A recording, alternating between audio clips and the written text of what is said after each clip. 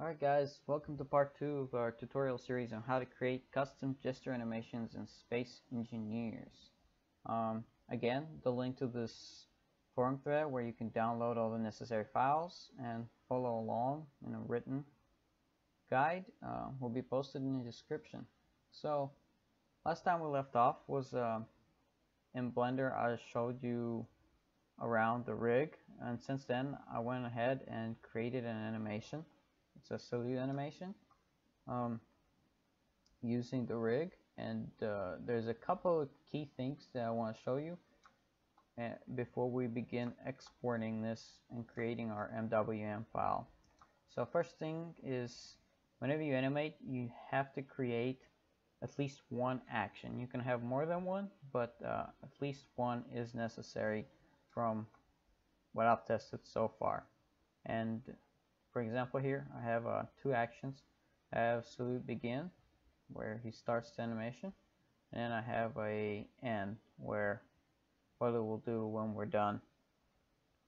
Now once you're done to export this is pretty simple. Just go file export FBX and uh, you should have this preset here if you use my rig. However if you don't here are the settings.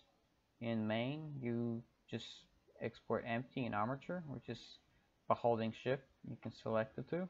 Geometry nothing was changed from the defaults. In armature you want to export only deformed bones. And the very important part is these these axes have to match to what I have here. It has to be negative X and Y. Otherwise it will screw up the whole animation. And then under animation um, bake animation key all bones kind of necessary here I use simplified to, to zero because I want my animation exactly how I animated it. Then I'm to export this FBX to this directory. And once that's done, we are done with Blender. Let me just quit that. Um, now if we navigate to this directory, you can see I have an FBX file. Um, now to convert it to MWM, we should set up our mods folder structure first. So if you go to your app data folder, which is where Space Engineers by default saves all the mods that you've downloaded, and this is also where they will show up if you try to create your own. So in here, you create uh, the name of your folder, which will be the name of your mod. So I'm just gonna make tutorial. And then inside this folder, um, there's a couple of key folders you want to make. Uh, first of all, you want to make models. Inside that, you want to make characters. And inside that, you want to make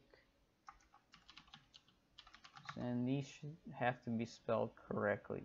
This is where we'll export our MWM file to.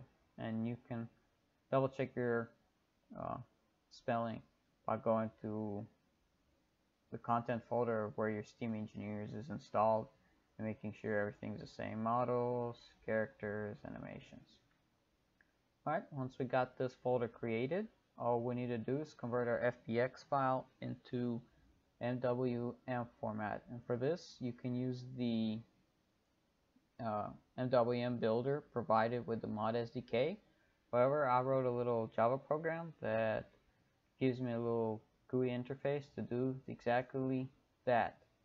So if you use this program when you first download it, uh, it will probably pull up a select MWM build directory and essentially what you want to do here is navigate to your uh, mod SDK folder and then go to tools MW builder and select this folder and from there on it will know where your MWM builder.exe is located.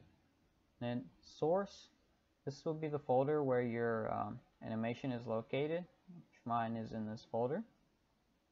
Then the destination is where you want to export the MWM file to. So in my case, I will be exporting it to the folder we just created. App data, mods, tutorial, model, characters, animations. Select this and uh, all the options here, you can leave them default. and you just click build. Um, I always get this warning and then it should say finished and blah blah blah. Now once that's done you can close this and if we go to our um, mods folder and you look under animations you can see that uh, we now have our MWM file.